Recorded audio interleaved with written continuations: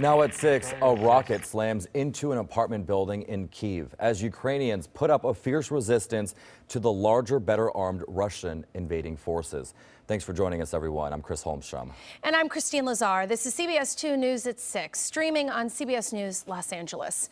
The fighting in Ukraine appears to have intensified today as the Russian military closes in on the capital. And tonight, Ukraine says Russian forces have blown up a gas pipeline in the country's second largest city. CBS News' Rick Montañez is here now with the latest developments and a lot going on tonight. Yeah, certainly a lot of changes happening pretty quickly. So just in, as Chris mentioned, Russian forces have blown up that gas pipeline in Kharkiv. That's Ukraine's second largest city. We're also learning from the United Nations Refugee Agency that at least 150,000 people have fled Ukraine since the Russian invasion began.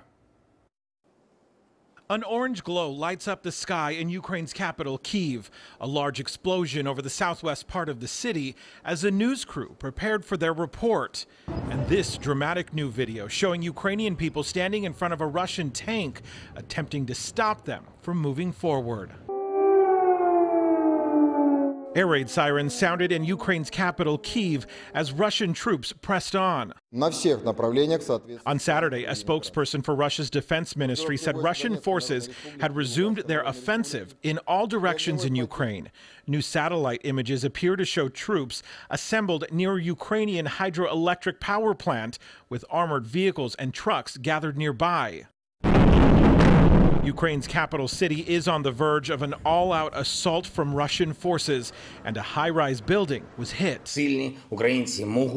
But Ukraine's president is vowing to keep fighting, hinting that there is an international consensus to cut Russia off from the global banking system known as SWIFT. Disconnecting them from SWIFT is one of the, uh, we believe, very effective actions. As the fighting continues, the Biden administration has authorized another $350 million in military aid for Ukraine's government. We have to stay the course with the rest of our allies. And in the meantime, we're supplying defensive weaponry and economic assistance.